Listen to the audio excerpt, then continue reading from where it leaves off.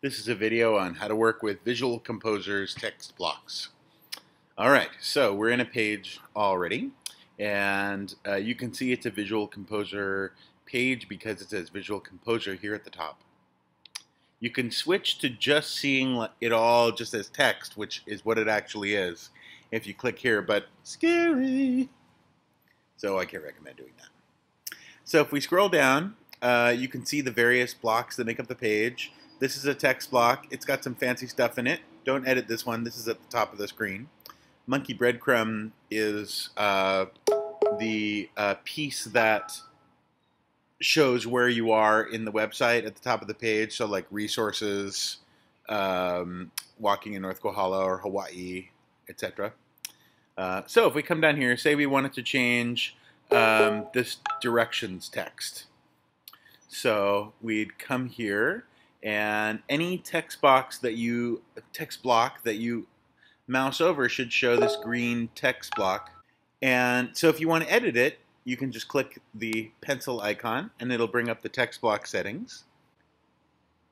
This works just like any text editor in WordPress. In fact it is the text editor in WordPress.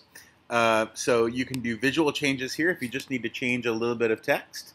Uh, say we wanted to highlight the name of this highway and we wanted to make this a heading 2 to make it bigger.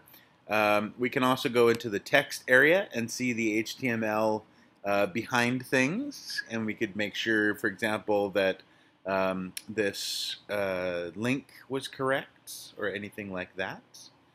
And then uh, once you're all done, you can just hit Save Changes, and your changes will be saved. And that's all there is to it it's pretty straightforward. I'm going to hit close because I don't want to save the changes that I made. Um, and then once you're done with that, you do need to go back up and hit update on the page because you were just saving the changes to that one text block. And of course, you can edit multiple text blocks. And so this is the, the main text block on the left here. And we can see what's going on in here. And I can make visual changes.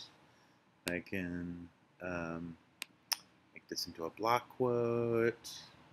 I could do all the fancy stuff I can normally do. And I can still, um, I could go back here and make sure this goes to the right place. Um, you can also, for links, of course, hit the, the edit link button and it'll show you where the link goes. And um, that's how you work with text blocks in Visual Composer. Hope that was helpful.